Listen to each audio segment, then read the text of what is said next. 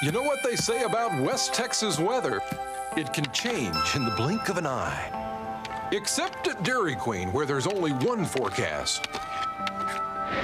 Blizzard! The original Blizzard flavored treat swirling with your favorite candy, fruit, or nuts. It's upside downright thick and delicious. Whatever the weather, at Dairy Queen you'll always find a Blizzard.